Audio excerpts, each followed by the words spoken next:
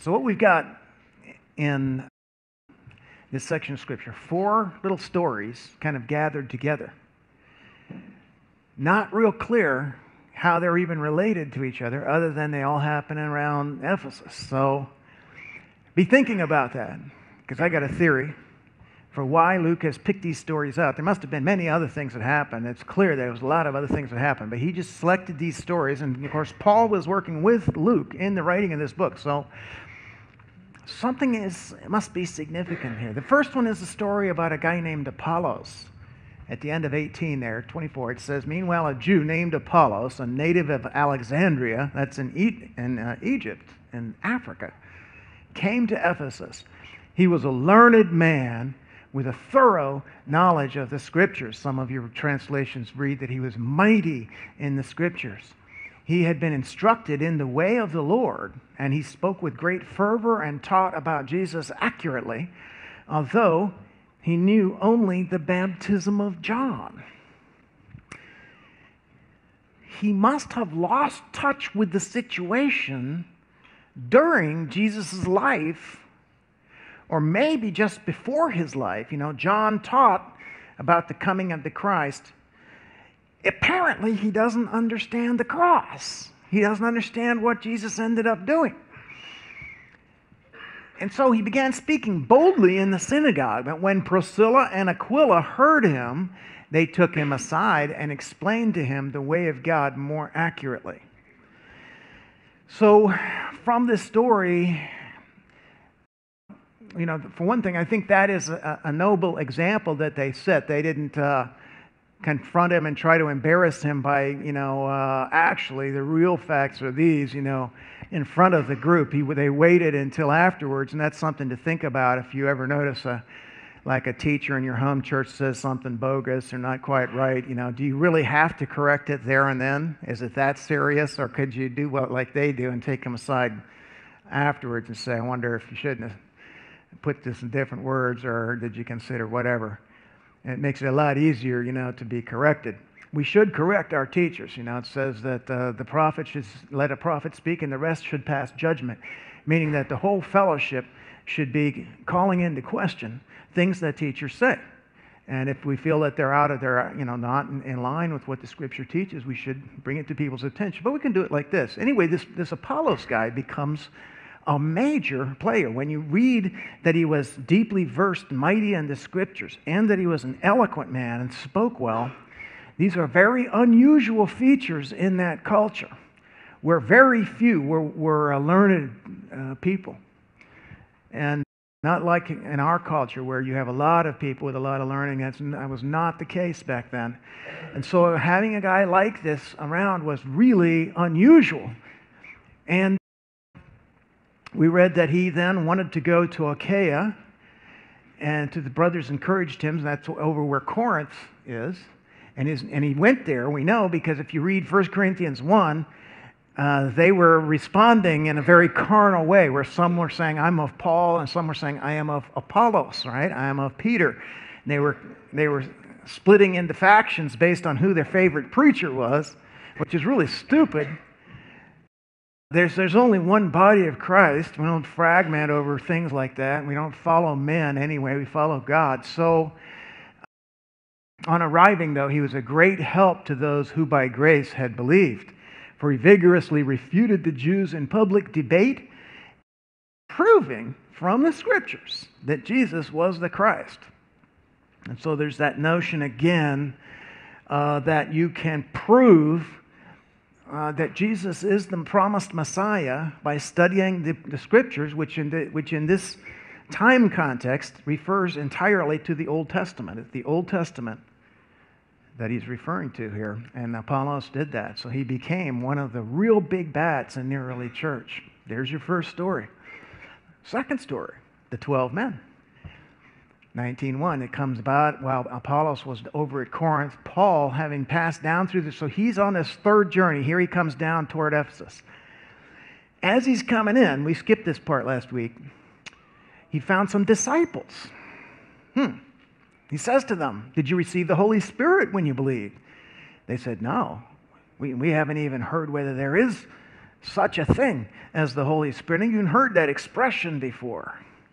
He says, Well, then, into what were you baptized? And they said, Into John's baptism. They're, they're disciples. They're disciples not of Jesus, they're disciples of John the Baptist. It's, this, by the way, perfectly accords with extra biblical material that we have. For instance, in Josephus is one source that says that John the Baptist's fame spread clear across the diaspora of the Jews, which were all of these communities spread across, across the Roman Empire. All of them admired John. And so he had terrific influence. These guys are followers of John the Baptist. So similar, you know, Apollos was a follower of John the Baptist. But he apparently knew about Jesus. He had stayed long enough for Jesus to make the scene and then must have left. These guys probably even left earlier. And so Paul said, John baptized with the baptism of repentance, telling people to believe in him who was coming after him.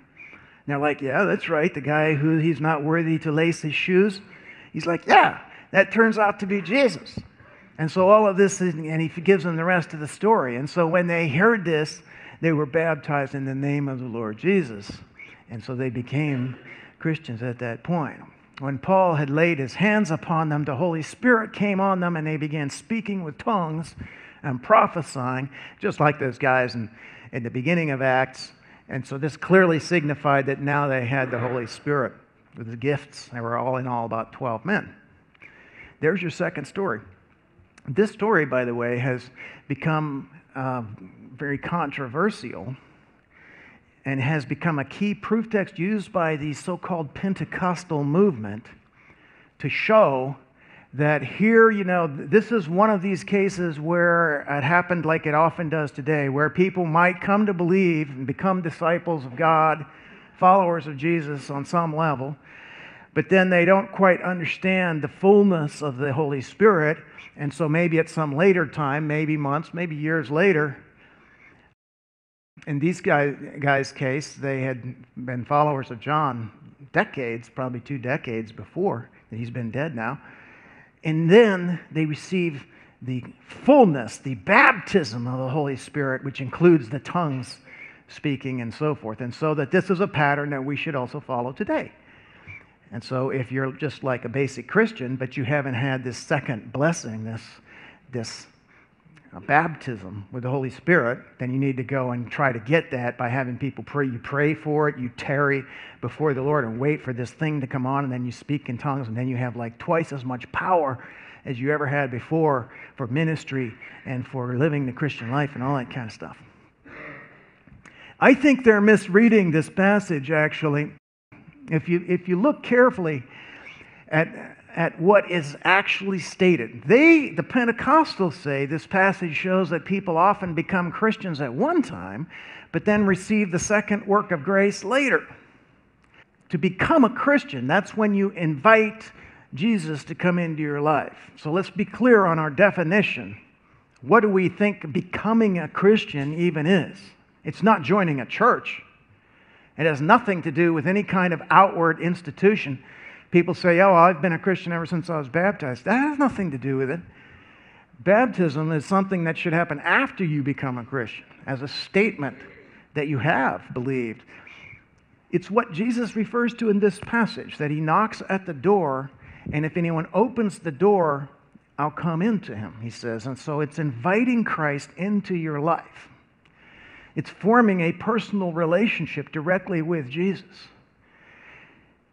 Now, in this story, these guys had never done that. They were not Christians, they were disciples of John the Baptist, which meant they were believers in God, but in a more like an Old Testament sense.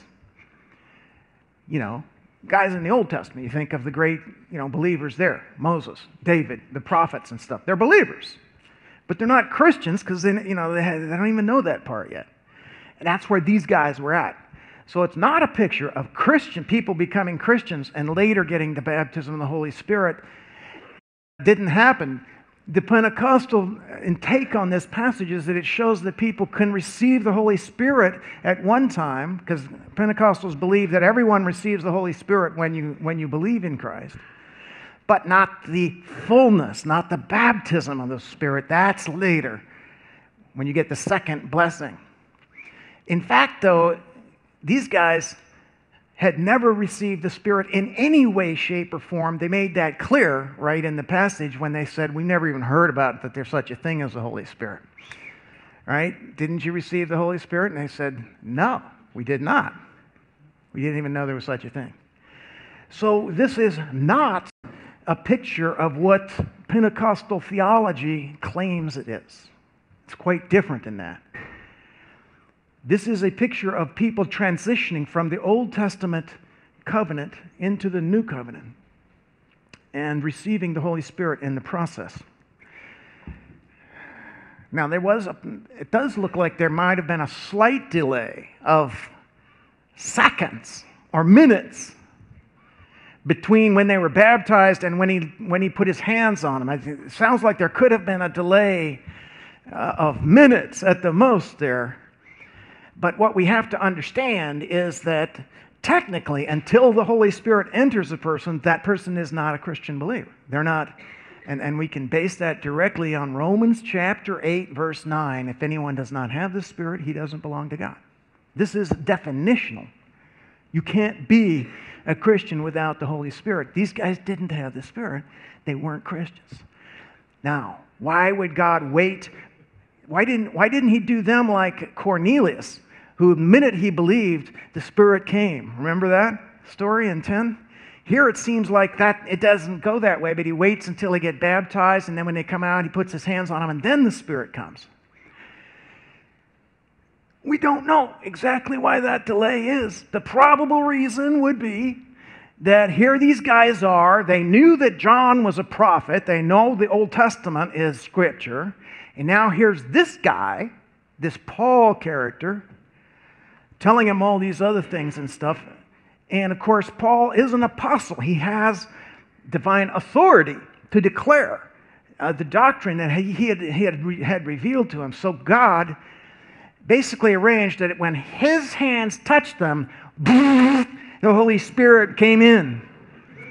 And so, uh, you know, and, and that basically is a way of telling these guys, listen to him. He knows what he's talking about, okay?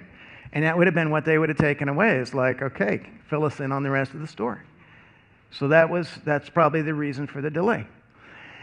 The main, final point I want to make about this, though, has to do with hermeneutics, the science of interpreting a text. To interpret a text correctly, to not make a mistake, which is what I think has happened in Pentecostal theology and I should, I should clarify when I say Pentecostal, there's a group of denominations that follow that teaching. There's another group called charismatic who are more moderate. They're not, they don't think you have to have a second work of grace, and, and that, that would not be an objectionable group. But I think this, this extreme Pentecostalism is pretty objectionable from my point of view because it sets up two kinds of Christians, you know, the haves and the have nots. And so uh, the result is, is division. It's pretty hard to work with people when they think that all the, everything you do is done in the energy of the flesh. You know, and it's like, how do you work with that? And so, as a result, in one church after another where people got involved in this theology, the church ends up splitting up. And that's not a, a good fruit that's being borne there. But anyway, in interpreting a text, one of the reasons they went astray here is that they're going into a passage which is a story, a narrative, and really an unusual narrative. There isn't a lot of explanation about what was going on, and they're basing a real heavy, major doctrine on a story. Now, if what they're saying was true, we should be able to go to other passages and confirm that that's true through their teaching, and we can't. Only a couple of stories are used to base a doctrine on, and they're not that clear. One rule in hermeneutics says never base a major doctrine on an unclear passage. That makes sense. All, everything important in the Bible is taught multiple times and very clearly. So stick with that. And secondly, that you can't base a doctrine on a story of what happened because, yeah, okay, that happened, but how do we know that that applies in all situations? We don't unless we have that backed up in one of the teaching sections of Scripture. So you, you shouldn't base it on both, both of those uh, rules were not followed here, and that's why you end up with a mistake. Story number three supernatural war. They tell a couple of uh, very uh, unusual, and just short stories. This one, it says God was performing extraordinary miracles by the hand of Paul. This is in Ephesus now. So that even handkerchiefs or aprons were being carried from his body to the sick, and the diseases left them, and evil spirits went out. Whew, never seen anything like that. But also, it says some of the Jewish exorcists who went from place to place attempting to name over those who had the evil spirits the name of the Lord Jesus, saying, I adjure you by Jesus, whom Paul preaches. Okay, so what we have here are exorcists who are exorcising evil spirits out of people for money. This is their livelihood. And they figure, well, looks like Paul's got. Uh, got the upper hand. You know, he's had a lot of success in exorcism, so we'll just uh, do like he does. And they come in, and we read about this: these seven sons of one Sceva, Jewish chief priests, were doing this. So here's these seven guys. They're in. The, they're going to go and exorcise uh, a demon from a demon-possessed man, and they come in. We adjure you by Jesus, who Paul preaches. And the evil spirit answered them and said, I recognize Jesus and I know about Paul, but who are you? and the man in whom was the evil spirit leapt upon them and subdued all of them and overpowered them so that they fled out of the house naked and wounded.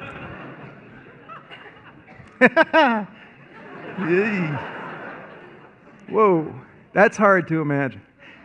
Well, I know they wore robes and stuff, so it's probably easier than depantsing someone these days with our, you know, custom fitting uh, clothes. But uh, I guess it goes to show that you really can't fake it when you're involved in spiritual warfare, right? These guys didn't know Christ, they weren't in there with him.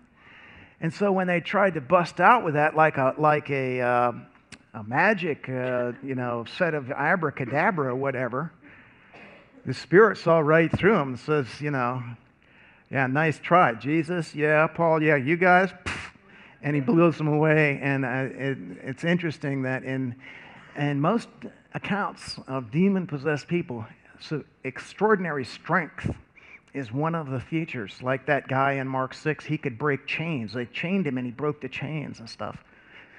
So it's dangerous to mess around in this field. And this became known to all, both the Jews and Greeks who lived in Ephesus, and fear fell upon them, and all uh, fell upon them all, and the name of the Lord Jesus was being magnified. Many also of those who had believed kept coming, confessing, and disclosing their practices. And many of those who practiced magic brought their books together and began burning them in the sight of all and they counted up the price of them and found it to be 50,000 pieces of silver. Well, I referred to this passage briefly last week, just from the standpoint of how much an incredible sum of money that was to buy a, a huge pile. This was this was a you know a 20 foot tall pile of books or something to cost that much money, and it shows there must have been hundreds, probably thousands of people in this group to have that many books. Now, to burn the books. This is all based on strict biblical instruction from the Old Testament, also repeated in the New, to the effect that as Christians we are to sever all ties with occult religion. The occult are the collection of practices related to trying to access spiritual power through things like fortune telling, you know, palm reading, laying cards, Ouija boards, seances, calling up the dead, radiesthesia, where you use a rod and pendulum like water witching, these, my, these practices very big throughout history, going back thousands of years. Astrology, part of this as well. That's omen reading. Uh, contacting the dead. These are all forbidden to Christians, according to Deuteronomy chapter 18, verse 10 and following. God says, I don't want to see any of that in any of you people and anyone that does this. The reason, of course, he says it's abominable to me for people to do this. And the reason God finds it abominable is because where do they get the power to tell somebody's future? Where do they get the power to heal or the power to put a hex on someone, call a spell down? These are spiritual forces that they're dealing with, probably, almost certainly, from the other side, not God. Yeah, people will say, Well, I, I only work for God. Well, God says don't do it. So why, how would you be working for Him? People might even think that they're working for God. They think that. But the God that they're working for is a disguised evil spirit. And then uh, there is a recompense that comes in when people become, uh, uh, um, uh, you know, come under the influence of uh, spiritual beings because they're asking for favors when you when you go to a uh, psychic or what have you, you're asking for a favor. And once that, if that is ever granted to you, then in, in spiritual terms, you owe that being that just gave you that reading something. And it's going to be influence. It'll be influence in your life, is what you owe them. And so this is how people become uh, subjected to uh, spiritual uh, subjection, or even at the most extreme uh, case, spiritual possession, where an evil spirit actually takes possession of a person and they lose their free will, uh, which can happen in extreme cases. Very dangerous. That's why they were burning these books. They didn't they wanted to completely sever that. And so what we have here is a picture of a prayer of renunciation.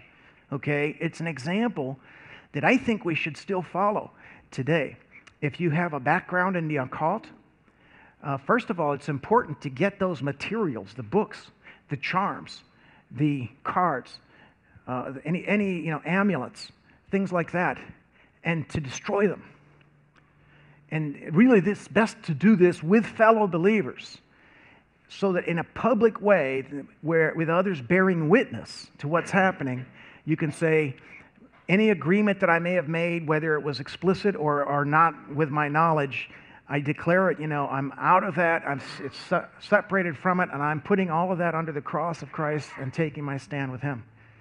And then you destroy those, those objects so there isn't that point of identification with the occult world anymore.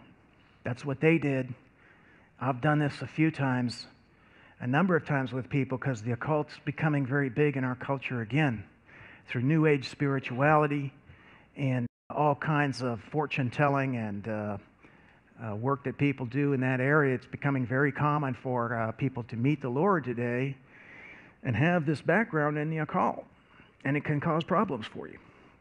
Separate yourself from the occult with some friends Christian friends, pray a prayer of renunciation. Get rid of the crap. Do like they did here. And so the word of the Lord was growing mightily and prevailing. So in this story, this is really a story about spiritual warfare. What we see happening here is a collision between the power of God and the power of the evil one. And so it's not that they're just persuading people you know, or that it's not a sociolog- sociological phenomenon, but it's a spiritual phenomenon where the forces of evil are being driven back by the power of God. Spiritual warfare is taught in the Bible. That's what we're engaged in. You know, if Satan isn't real, then what is our explanation for what's going on on earth? I, the entire biblical picture collapses uh, if, if Satan is not real, there has to be a being that accounts for the evil uh, uh, and is fomenting evil in this world, or else what are we saying then that God is the source both of good and of evil? That's where you're left. Unless there is this concept uh, of a vast, you know, spiritual realm of evil spiritual beings. I believe it's real.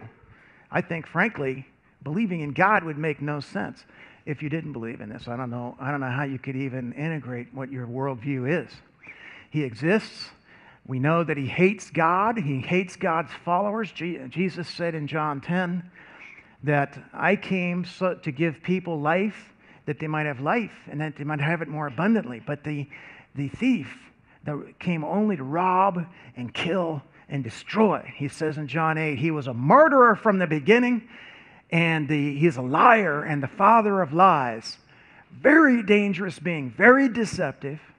People often end up under the influence of Satan thinking the whole time that I came up with this, or thinking that this is God that has shown me this, when it's actually Satan, a liar and a deceiver.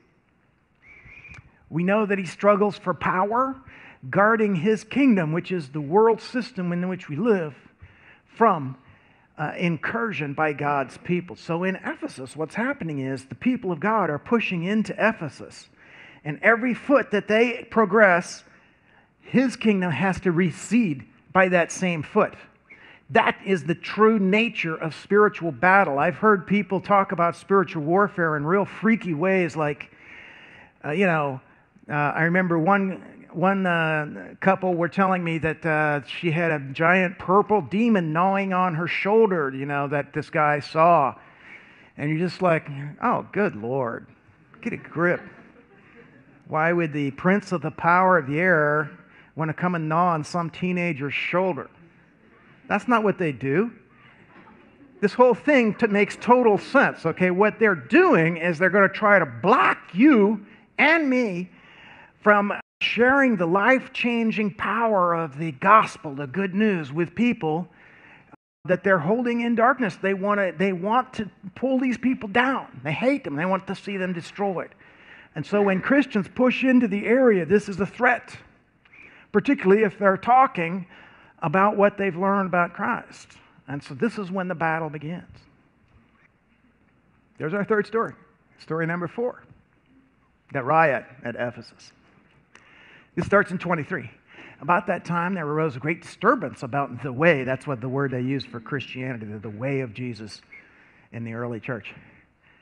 A silversmith named Demetrius, who made silver shrines of Artemis, brought in no little amount of business for the craftsmen. These were, these might have been spirit houses. They were little replicas of Artemis temple. You'll see these in many parts of the world today where people keep a spirit house out in front of their house and uh, invoke a spirit to come and live in there. They think to protect their household. But again, that's not how God works. So whatever's in there is either nothing and they're wasting their money, or they really do get a spirit to come in there, in which case that's a lot worse because it's going to be one of the other guys.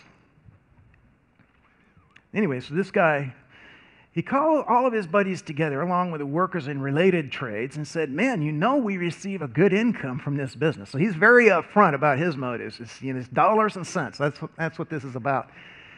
And you see and hear how this fellow Paul has convinced and led astray large numbers of people here in Ephesus and in practically the whole province of Asia.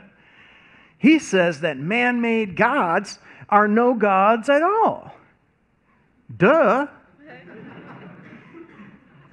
A man made God? Uh, yeah, I guess that is no God at all. We, so, so we can just create gods? No. God created us. That's the way that works. We can't create a God. It's ridiculous. Man made God is, is no God at all. Yeah, I, I believe Paul probably taught that. He says, he goes on, he says, there's danger not only that our trade will lose its good name, but also that the temple of the great goddess Artemis will be discredited and the goddess herself, who is worshiped throughout the province of Asia and the world, will be robbed of her divine majesty. Now, that's pretty bad when uh, you're God and somebody steals your divine majesty. I hate it when that happens, huh? How likely is it that uh, God could have somebody steal his divine majesty? Is that really what happened? Or would it be more likely that there was no such thing as his God in the first place? The whole thing's a human creation, which he just admitted. And in fact, it's really a scam, which is for money. And so, you know, this is all unraveling because here come the followers of Christ in, and they're telling people the truth. This is all BS and crap. And people are realizing, you know, I think it is crap. And so here Demetrius getting worried. When they heard this, they were filled with rage and they began crying out, Great is Artemis of the Ephesians! And so, what's happening is they're whipping up the uh, enthusiasm, the juices, and the rage. This is turning into a lynch mob, a riot, where they're going to try to find these guys and kill them. The city was filled with confusion, and they rushed with one accord to the theater, dragging along Gaius and Aristarchus, Paul's traveling companions from Macedonia. Apparently, they didn't find Paul, they just found these two. They drag him down to the theater. So there's here's an amphitheater out there. We have thousands of people now pouring into this theater. They got these guys. This is a very dangerous situation. This could have been a bloodbath here. Paul is outside of the assembly. He wants to go in. He's like, I'm going to go in there. He probably wants to go in there and stand up and try to speak like he did at, uh, at the Areopagus, something like that. And the others are just like hanging on to him, pinning him down. They will not let him go in there, which is probably a real good thing. I don't. I think that would have been uh, uh, extreme. This was a very risky situation. These uh, kinds of, uh, this is mob violence, which can turn, uh, you know, this is murderous rage these guys are feeling. Also, some of the Asiarchs, who were friends of his, sent to him and repeatedly urged him not to venture into the theater. These were city rulers, basically, uh, you know, high up people, Asiarchs, they're um, in the uh, administration of the province of Asia. And they're sending him out, tell him, don't come in here. Do not let him come in here. These guys will tear him apart. So then, some were shouting one thing, some another. The assembly was in confusion, and the majority didn't even know for what cause they had come together. It's just like, hey, something's happening, let's check it out. At that point, some of the crowd concluded it was Alexander, since the Jews had put him forward. And having motioned with his hand, Alexander was intending to make a defense to the, to the assembly. So he's going to stand up and try to give a speech. But when they recognized that he was a Jew, a single outcry arose from them all as they shouted for about two hours Great is Artemis of the Ephesians. Well, so you see, there's a strain of anti Semitism in here. That, that really got the blood boiling there. And of course, uh, they're not only anti Semitic. Anti Semitism is nothing new, it's been there all, way back until ancient times. But also, they knew that Jews only believed in one God, which directly contradicted their view that there are many gods. And, they, and they, that angered people. So here they are shouting. It's a chant. It, it, this would be like uh, one of those Ayatollah things that you see in Iran, you know. Anyway, 35. After quieting the multitude, the town clerk gets up there. Man of Ephesus, what man is there, after all, who doesn't know that the city of Ephesus is the guardian of the temple of the great Artemis and of the image which fell down from heaven? It's a meteor. They had a meteorite that in the temple there, which they believed you know, they didn't know what meteors were. They'd see this thing, you know, a bright thing coming down out of the sky, complete mystery. And so they went and found one that hit, and they're like, this is from God. This is an image. And you could even look and look. Even looks a little bit like a face on there, or something like that. So they bring it up, set it up, and they were worshiping the image that fell from heaven. Totally superstitious. This is all bull. Since then, these are undeniable facts then you ought to keep calm and do nothing rash. For you have brought these men here who are neither robbers nor of temples nor blasphemers of our goddess. So then, if Demetrius and the craftsmen who are with him have a complaint against any man, the courts are in session, the proconsuls are available, let them bring charges against one another. But if you want anything beyond this, it shall be settled in a lawful assembly. For indeed, we are in danger of being accused of a riot in connection with today's affair, since there is no real cause for it. And in this connection, we shall be unable to account for this disorderly gathering. And I've explained before, the Romans did not allow riots. And if you, if you had a riot in your city, that was considered proof that you were a weak ruler, a weak, a weak leader, and you would be deposed and, and often punished. And then they would send in a, uh, a legion of uh, uh, Roman soldiers and occupy the city, and there was a lockdown, persecution. It was very bad.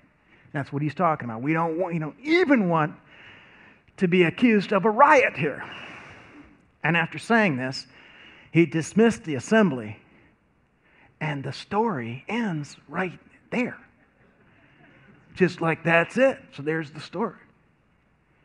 Nothing happened. Okay. So there's our four stories. Now, I could see why Luke might uh, include this particular story. This would be good if it's true, like they say. Some people argue that the book of Acts is like a legal brief for Paul that as he's about to stand trial in Rome, that these were, these were accounts for his lawyer to use in his defense. This would fit that description because this story showed that yes, there was a riot and disorder, but that it was completely out of line. And you know, if they looked at that in Rome, they'd be like, yeah, he didn't do anything. These were these other knuckleheads. So you could see why they would put something like that in there for that reason. But I don't think that's the main reason ask ourselves why, okay, so here you're writing a book, you're the author of a book, you're trying to recount something, and you tell four little stories like this. They don't seem to have a lot of relation to each other. You know, it's like you've gathered these particular stories out of all the stories that happened there. And what's the thread? You know, why, why does he pick these? why tell these seemingly unrelated stories in sequence all somehow related to Ephesus. Here's what I think. When you're hoping to foster a movement, or when you're analyzing why did a movement of God happen, the most important thing is that God has to act. You can't come and say, okay, how do you get a movement going? Okay, start with this technique, then, to, then when that's go to that one there, and be sure you bring in this one and so forth, and so you have a, a series of steps to take. It doesn't work that way. The way it works is that a movement is a movement of the Spirit of God. And so, when you, if you see one of these, uh, what you're seeing is God Himself acting. And that's what the, the true thread of these stories is. Apollos, this brilliant, super educated, eloquent man, a man who became super influential. How fortunate it was that Aquila and Priscilla just happened to uh, run into him in the city of Ephesus, hundreds of miles from Alexandria or Israel, either one. And so, boom, they run into him. They explain the way of Christ. He becomes one of the important leaders in the early church. That's not an accident, okay? uh, you, you, yeah, you have to read between the lines here a little bit, but what's, what we're seeing is an act of God. He's the one that brought, he's like this guy. He's a believer, Old Testament style. He needs the rest of the story. I got a couple of key players, and I'm going to put these guys together. And that, God was the one that did that. Paul runs into these 12 men out in, in the countryside. It wasn't even in the city. How likely is that? 12 guys that are disciples. What, what was it? Some kind of a commune they're living in out there? And, uh, you know, but here's, here's the thing again, that's not an accident. These were God's guys, they were believers. And God's like, I got some guys right over here. They don't know, they, they have never even heard of the Holy Spirit. And so, as Paul's coming down, working his way down to Ephesus, you're going to be going this way, Paul. And I'm going to have these guys out where they're going to run into you, and uh, boom, Next thing you know, these guys got the rest of the story and were brought into, and it became part of, of what was happening there. We see occult power being overthrown in Ephesus. Who does that? I don't know how to do it. Do you? You know how to uh, blow away an evil spirit? Hell, we can't even see them. We don't even know when they're there. So how do you uh, how do you overcome their power? I have no idea. We don't overcome it. God has to overcome that. He's the only one that can he can do that. That's that's not even breaking a sweat for him. He's got infinitely more power than they do. So that's what we need. We need God to come into the field here and, and, uh, and uh, advance things and roll back the evil forces that are opposing. We see this murderous riot where it looks like, oh my God, gonna, there's going to be a pogrom, there's going to be mass slaughter, beatings, and uh, so forth, like we've seen before. And God's just like, uh, nah. And he just takes a bucket of water and pours it on the fire and it's out and everybody goes walking home like, I wonder why that happened. You know, it's like, okay, that's the kind of thing that God can do. And uh, it was a menacing situation, very menacing.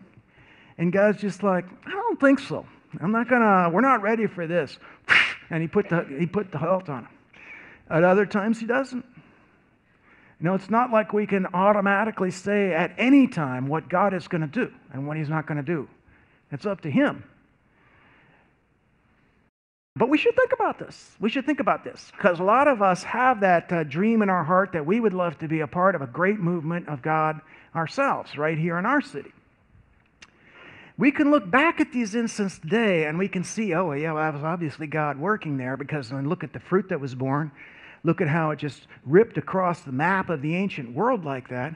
At that time, though, this would not have been as easy to see as it is today.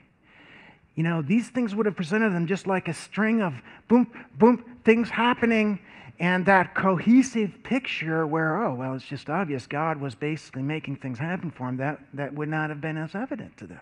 We should remember that. Afterwards, you look back and you start seeing, you know, God has stepped us every step of the way here. He's the one that's brought us so far. And we can see all these points at which He lined things up and made things happen and we're like, whoa, whoa, yeah. But we see it after the fact. While you're going through it, you don't see that. It just seems like there's all these chaos and menacing things and things going wrong, occasionally things going right. And uh, you have to take a lot of this by faith that God's going to work. So,